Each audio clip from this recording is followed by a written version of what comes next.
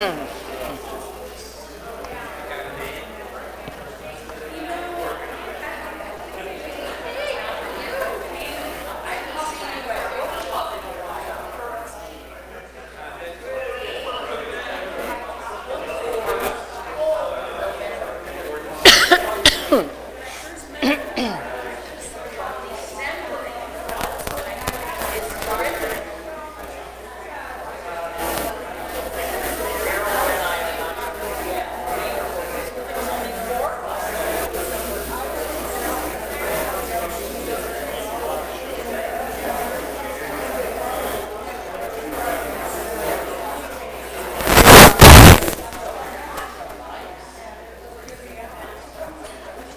Good evening, everyone. Uh, great to see you all here. Um, I just have a, a few quick uh, introductory comments.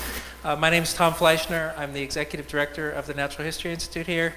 Great to see you all. Um, I know uh, we have a lot of familiar faces here, but also a lot of people have mentioned that this is their first visit. So I just want to mention that we are um, an independent nonprofit organization. Our, um, and our, our mission is to foster a renaissance in interdisciplinary natural history that integrates art, science, and humanities. And uh, certainly the talk tonight and the show is uh, right, uh, right in the heart space of that, that mission. so it's great to see you all here. If you haven't been here before and you'd like to keep in touch with us, there's a, a sign-up sheet for an email announcement list. We don't share that with anybody, so uh, and you can get off anytime. So please uh, join our community. Um, so, um, it's, like I say, wonderful to see you all here for the, the opening of this fantastic show. It's my pleasure to introduce my, my longtime friend and colleague, Deborah Ford, who I know many of you know. Um, and because you're all here at this opening, you already know, if you didn't before, that Deb's work is, is breathtakingly beautiful, insightful and imaginative. And um, really looking forward to hearing what you have to say as some of the contextual uh, background on this particular show. Um, Deb has been, um, well, among has been an arts educator and administrator as well as a practicing artist for many, many years. Uh, we were colleagues at Prescott College for a long time, where she, for many of those years, was the uh, chair of the Arts and Letters program she, among many other things, was the executive director of the Playa Arts Residency Center. Where there's at least a couple of us in here who uh, benefited from that beautiful space um, and has been um, awarded awards in multiple states. So it's, it's just great to have Deb here tonight. Before I, uh, there's two little announcements I want to make. One is um, with every exhibit we have here, we, we change the exhibits every about two and a half months. So with each show, we have, in addition to the exhibit, we have an artist talk, which in this case is, of course, tonight. But we also have some kind of field experience workshop that is associated with it. And in this case, um, there's some flyers on the table out there. Called Seeing the Unseen. Um, this will be a workshop. You need to register. Um, if you're interested in that, Pat Zemer, our office manager who's been uh, at the door, can sign you up for it. There's a limited number of spaces. This is on January 4th, which is a Saturday. It'll involve both time here in our lab as well as in the field nearby.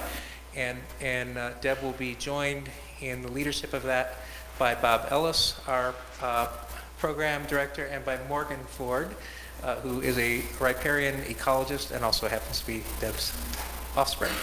So that's going to be a really exciting, um, uh, exciting day as well. Um, and finally, every time we have a speaker here, we offer them one of our hats and their choice of color. So I wanted to present Deb with her, her hat. Ah, thank you. Wow. so, thank you. Welcome, Deb. Can I wear that now? um, all right. Um, Whew, okay. Thank you all for coming out tonight. Um, I'm not a real fan of public speaking, but I'm going to get over it here in a minute. Um, and I'd like to thank the Natural Hi- History Institute for letting me uh, have this exhibit here. And um, and particularly Tom Fleischner and Bob Ellis, because they really helped coordinate uh, so much, and to Pat Ziemer as well. Um, but also to the selection committee, which I, my proposal was pretty out there because I didn't really, I was on sort of vacation. I was traveling when I submitted it and didn't have any work to really submit other than old stuff, and so I kind of made something up.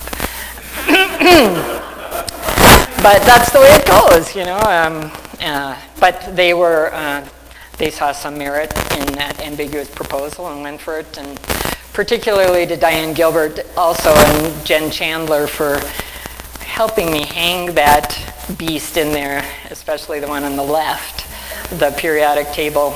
Um, and lastly, thanks to Jordan, who, uh, my son, uh, a perceptive artist in his own right, who I said, hey Jordan, would you have, you know, do you think you could create something? And I sort of gave him some links to some microorganisms, I said, because you can't really see those in what I'm doing. And so he did, and we played around with some ideas, and, you know, he's um, very successful, and I think, in what he did, what he created. Um, because they're the real stars. The microorganisms are the real stars of this exhibit. Uh, and I don't know if you, any of you read that statement in there or not, but you're going to get bits and pieces of it. Um, but first, my disclaimer. I am not a scientist. I'm not even a citizen scientist. Um, I'm a photographer and when I was at, in the Arts and Letters program, I found it really difficult to write up something and hand it out to all the writing faculty because, of course, they would tell you what the typos were and that your grammar wasn't correct. And now I'm talking about some science that I don't really, that I really know very little about in front of all these scientists, including my son Jordan and Morgan, um, and Morgan as well. Um, so all I can tell you is I'm a photographer that I'm infatuated with some scientific phenomenon and from the natural world, uh, maybe even smitten um, by that. And, but my knowledge is just like one of these microorganisms of which 500 can you know, be in a grain of sand. Um, And so these first few slides, uh, you know, the biophilia, hypoth- biophilia hypothesis comes to the periodic table.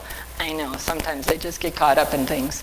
Um, but E.O. Wilson is one of my favorite um, people, and even though I half of more than half of what he writes about, I'm like, what does that really mean? You know.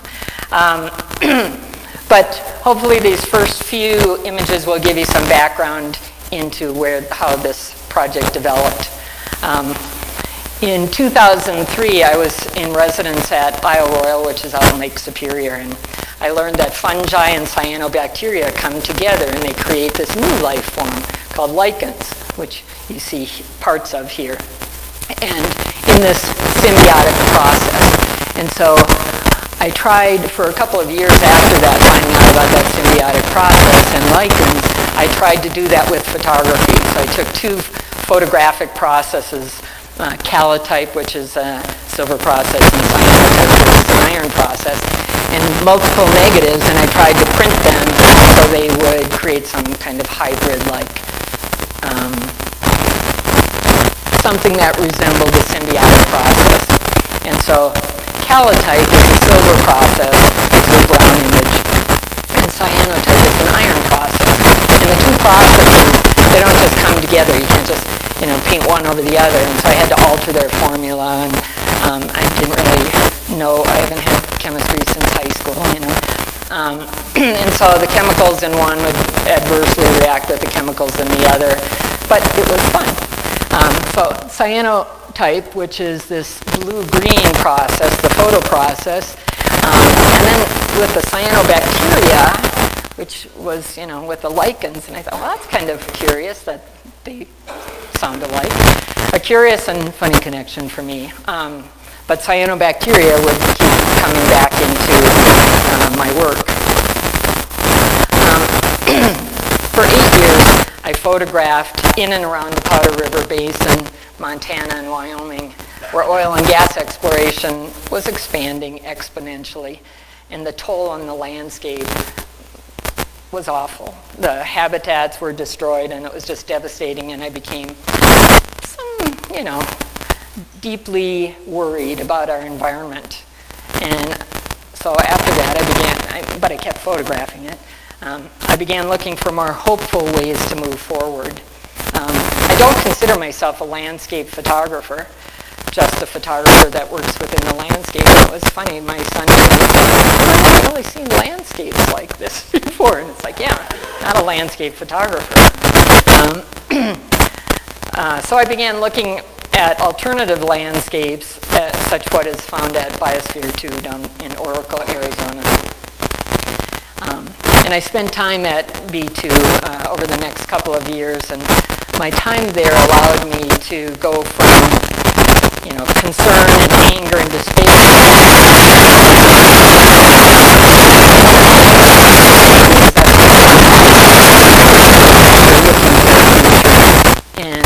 own visual research led me to scrape the surface of understanding the interconnectedness and the complexity of life's biological processes. Um, and so this, A Nearly Fatal Illusion, was the last exhibit that I think I had in Prescott at Sam Hill. And it was a three-part exhibit about science and art and natural reclamation of uh, a battery at Fort Worden and um, and especially CHON, carbon, hydrogen, oxygen, and nitrogen. Two of those images are in this show that I brought because one thing leads to another, and you know, evolution for me. But and their roles in these biological processes of photosynthesis and decomposition and oxidation, etc. Um, I retired in these go down a little bit or they can't? Or can you see that okay? I don't know how, like to me I get a little glare so I can't quite tell. Oh, okay, okay.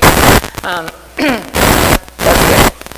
Uh, so in 2017 I retired from being an executive to apply a, a residency program of arts and science. So, you know, I've been trying to develop this connection and nurture it along for quite a while and moved to Montana full time. And uh, during this time, I've been photographing. I don't live too far from Yellowstone, and so um, I continue to be fascinated with the role of water. You know, obviously, you can see that this whole thing is covered with water, and especially the geysers and the fumaroles and the hot springs and the mud pots and other pretty extreme parts of the environment that are there. Can you all hear me okay?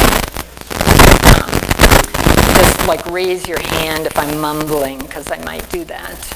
So this is Grand Prismatic Spring, which is the largest hot spring in the United States. It's 145 degrees to 188 degrees Fahrenheit. So it's nice and warm. Um, and directly behind where that photograph was taken is this, which is Excelsior Geyser, which used to be the, the large, one of the largest geysers in the world until 1890, and then it stopped erupting. Um, and, but things, you know, like Steamboat Geyser, which is erupting there now, left and right, hadn't erupted for years and years and years. And so it's, you know, pretty exciting. And so this vivid blue here is one, one of the hottest parts of Yellowstone. It's about 200 degrees Fahrenheit. This is a public domain photograph. I did not take this. I would have, but they don't let you have drones or anything like that. And I don't have a drone anyway, but um, uh, it's an aerial photograph of Grand Prismatic Spring. You know, so we were standing there on, see that walkway as it comes down? And we were looking in from there. Um, and Excelsior Geyser is just out of the photo. Um, and so the walkway, around that corner of the walkway is where I took those last couple of images.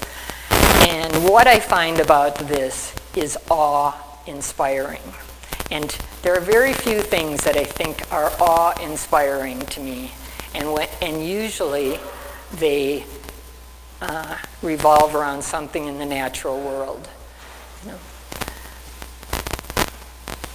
So I didn't understand why, where these colors come from. And so I started researching it, and I found out they're caused by minerals and microorganisms, living things. microbes, which may be the oldest form of life on Earth. Um, and they're everywhere. And today on, on 1A or whatever, I heard them talking about all the microbes in our mouths and in our mucus. Um, and so the number of microorganisms out in the world is staggering. I mean, they make up the majority of species, including bacteria, archaea, viruses, etc., um, and some eukaryotes.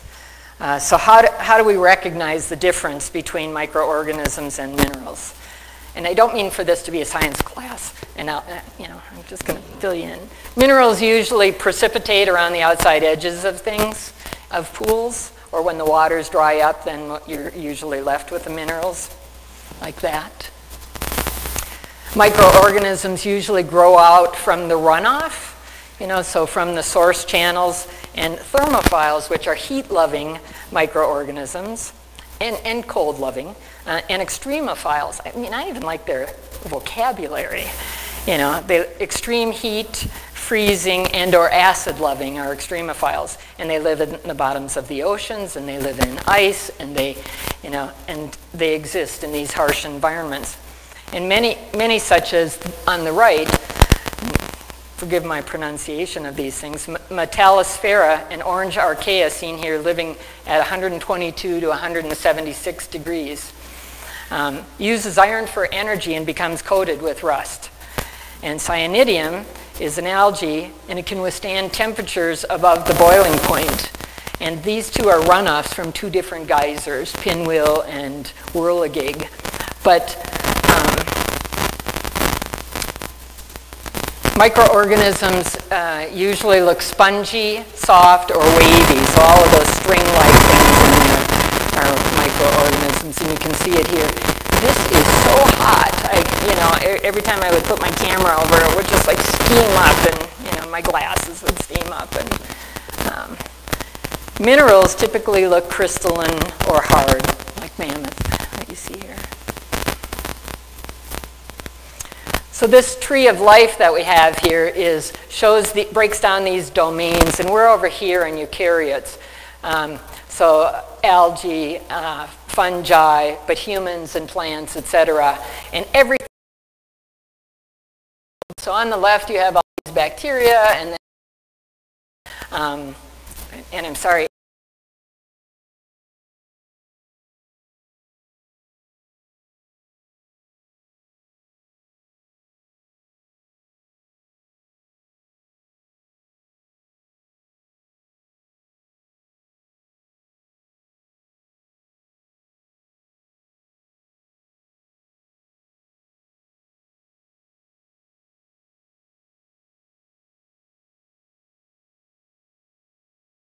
So most of the autoclaves, they were always set to 250 degrees. They thought that would kill everything.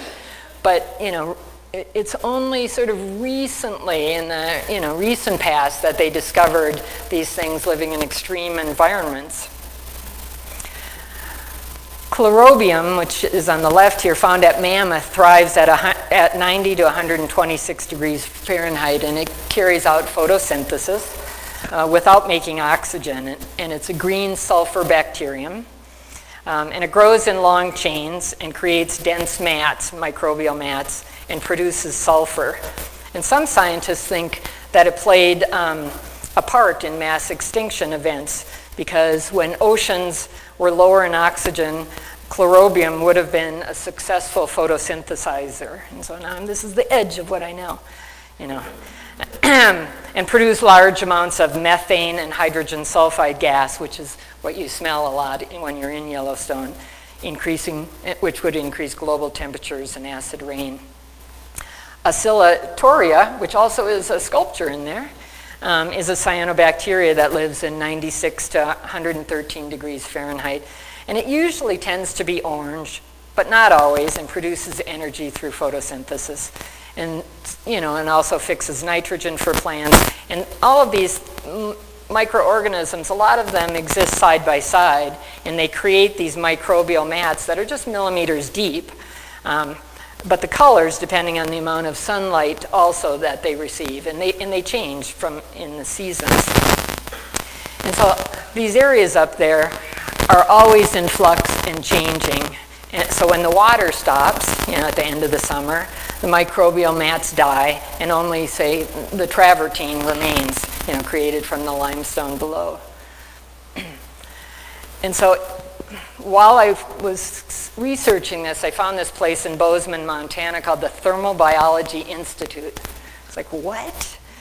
And they refer to these microbial colors as the living colors of Yellowstone. Because what happens, you see those boundaries? Well, usually at those boundaries, there's a temperature change or a pH change or something else. And so, you know, the, um, they're very distinct boundaries of color. And in some seasons, you see more than, you know. Um, so I purchased one of these, which is not a pointer, but an infrared thermometer. So when I would go there and photograph, I'd make a photograph and I'd write down where I was and you know the date and stuff. And then I would check what's the temperature over here and what's the temperature over here and you know. Um, not that it told me anything, but it was kind of fun, you know. you know, and I did find that, oh, you know, it seems like the green and the brown are usually a little bit cooler than the others. That's as close as you know, my science went. and here's another example where you can see them running out and they just start to form these channels and separate out and precipitate it. You can see the minerals precipitate out in these various places. And so one of the really cool things that I found out that in the 60s at Yellowstone, Dr. Thomas Brock, who's affiliate, um, who is affiliated with this now still, discovered a bacterium Thermus aquaticus. What another great name, huh?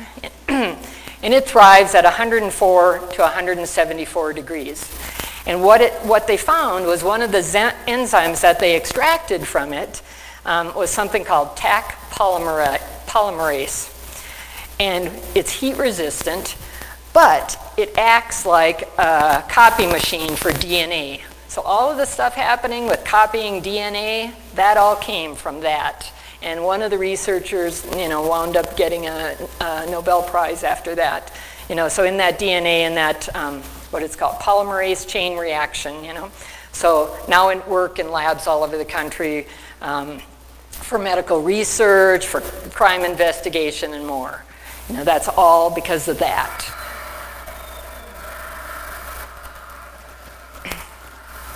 I mean, I just feel the importance of microorganisms cannot be overstated here. You know, they play a critical role in nutrient cycles. Bob, I could tell us about that.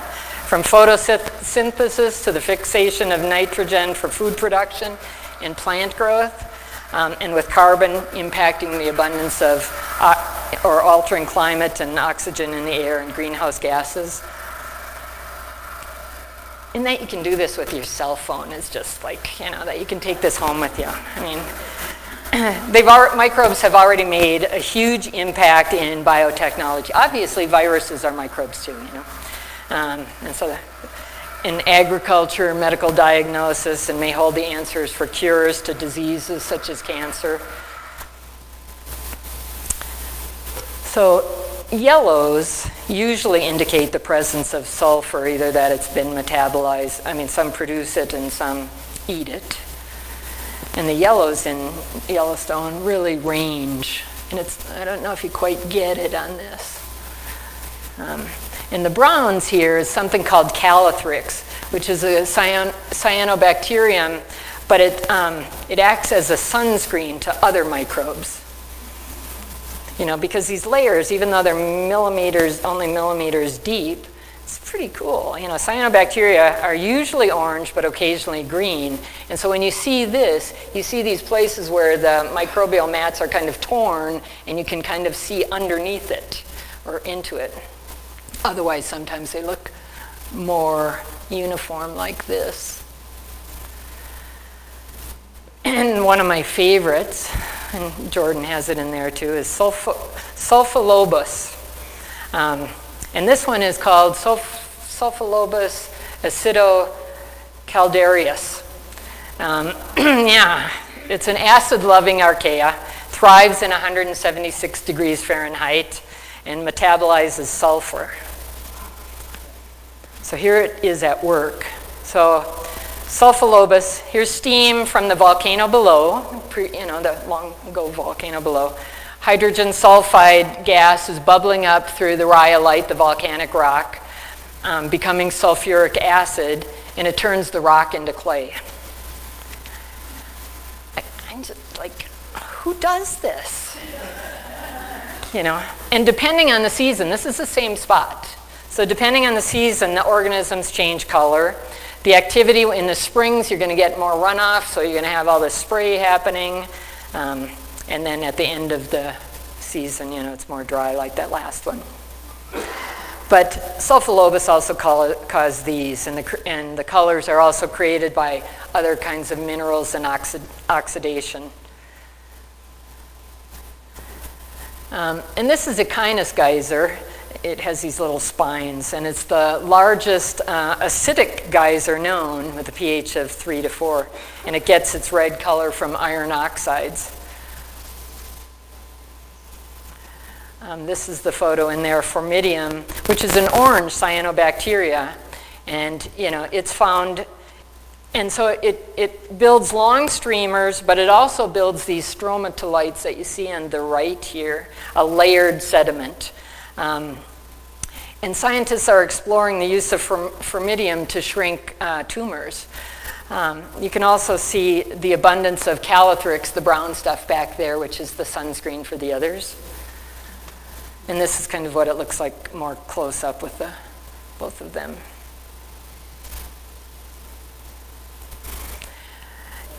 Um, and so microorganisms, and just so by um, Excelsior geyser, but this is not it, this is still in grand prismatic. Um, but they think, that, so Microorganisms similar to these found in Grand Prismatic have been responsible for making the Earth's atmosphere oxygen rich.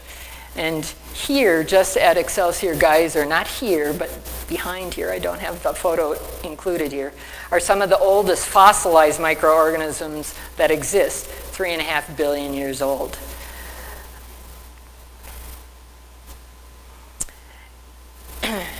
and so E.O. Wilson um, he refers to living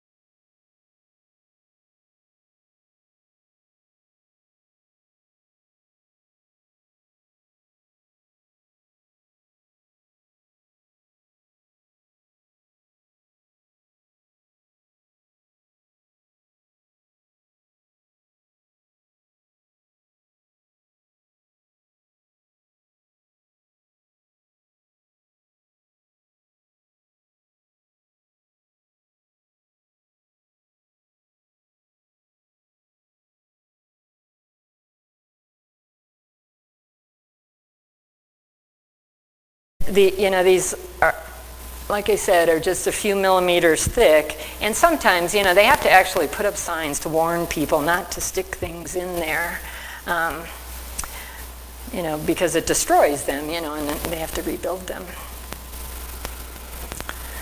So fumaroles, or steam vents, uh, are some of the hottest places, uh, the geothermal features in Yellowstone. Um, and they're, boy, I just, this is Porcelain Basin, and um, Porcelain Basin, the whole, you can't walk anywhere through it because it is just a, sort of a bubbling mass and it's just underneath the surface. It's so hot. And these opaline sort of um, milky deposits are called silica sinter because they're, they're you know, they, the evaporation causes that build, that precipitate, and then they get in there and they just kind of everything has this sort of pastel look to it. You know, some of the some of, and, and silica is the primary component of glass. Um, hence my asking Jordan to help with this. And some of the orange colors he, here come from iron and arsenic as well. Uh, and the thermophiles create it. But this area is just so near the surface and boiling water and steam, and it, it's changing all the time. You know, there might be a geyser here or a fumarole here, but and then tomorrow it's over here. Not tomorrow, but not that fast, but you know, like that. In, um, and all of these features exist uh, because Yellowstone in, is a site of a supervolcano that erupted only 630,000 years plus ago, um, which is relatively recent, but it's huge. The, almost the whole park is in the caldera. And the heat from the volcano still fuels the activity, um, heating water from the runoff and gases that make their way up uh, under pressure. Um, and this unique environment, uh, I, I, think, really probably holds a lot of answers um, for about early life. I even watched a PBS special recently on, on the planets, and that's kind of what they were talking about, even the similarity.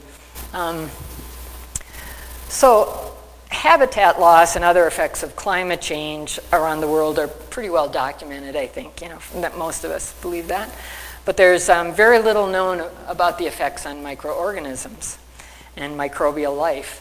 And it, it's a huge part of the earth. And so I think more research on microorganisms and their roles in early Earth, which that's what they're working on, will provide these huge answers to these huge questions that we have. Um, this is that area that was so hot. Just um, huge questions about life, how it began. Astrobiology, which is the study of life in the universe, um, also focuses on these questions how life began and evolved. Is there life elsewhere in the universe? And astrobiologists believe the life forms that we may discover on, other, on nearby moons or planets will be similar to those found here at Yellowstone in the similar environments um, and geothermal locations. So, Roaring Mountain, which you can only get a snippet of here, uh, Sulfolobus acidocaldarius has changed this mountain. It's just moved it and built it and transformed it. Um, you know, it, it, it's sulfur eating, it's round, it's acid loving. And this changing shape of erosion on this mountain really is due to just those microorganisms. Uh, hydrogen gas is turned into the sulfuric acid and turns the rock again into clay. What does any of this have to do with um, biophilia hypothesis, as well, as E.O. Wilson stated for me, to, well, not for me, he didn't state it for me, he stated for all of us. to explore and affiliate with life is a deep and complicated process in mental development, and our existence depends on this propensity. Our spirit is woven from it. Hope rises on its currents. And the conclusion that I draw is optimistic to the degree that we come to understand other organisms, we will place a greater value on them and ourselves. He's so wise. Um, so, you know, people seek out wild and scenic places like Yellowstone for many reasons. Most come, you know, they want to see the grizzly bears, they want these encounters with wildlife, wolf, bison, and elk. You know, I hung out there for a lot in the last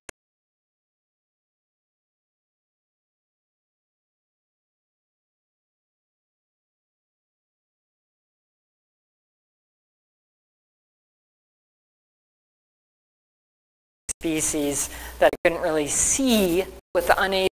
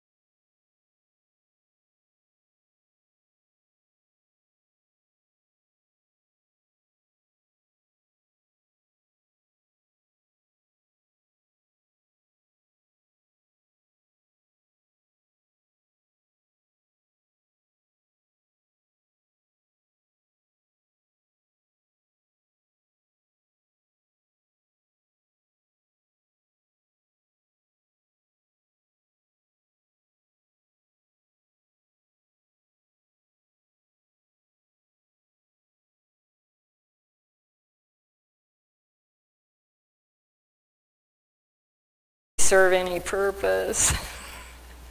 For me, it's really a way to direct your attention and something that's in the photo.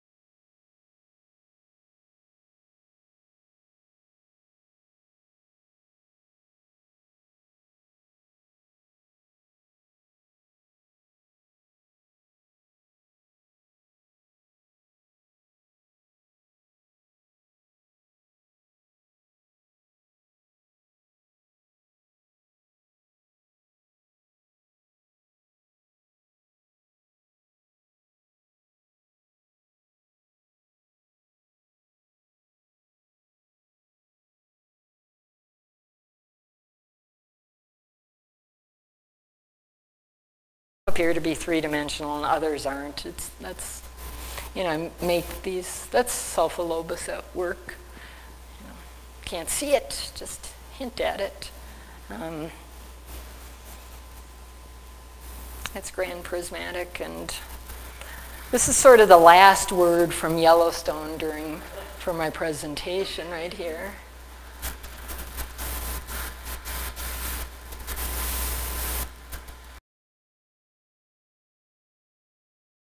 Spent the past month in Escalante, Utah, looking at the desert floor, you know, and so there's no water or very little water, but, you know, obviously there is water, but, um, you know. So thank you. Thank you if you have any questions. Or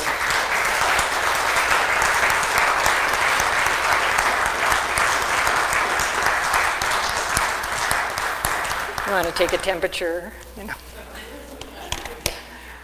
Any, be happy to answer any. questions. I don't know anything scientific.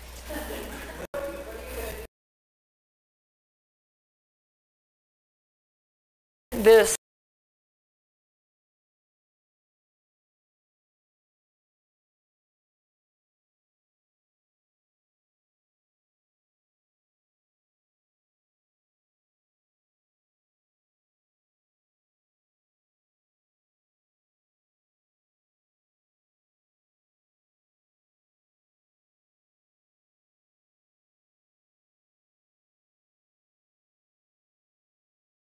And so the, the grant that I received from Montana Arts Council had to do with sort of traveling this from to somewhere else too. And um, I don't know what I'm, I can't answer that. I wish I could. You know, but, but it's kind of a, a puzzle that I'm trying to figure out. And it was just, I had to make kind of a leap to create what I did. You know, so. Um, you guys need coffee? um, anything else? Just. Thank you for coming on, spending time here. Thank, thanks, Ross.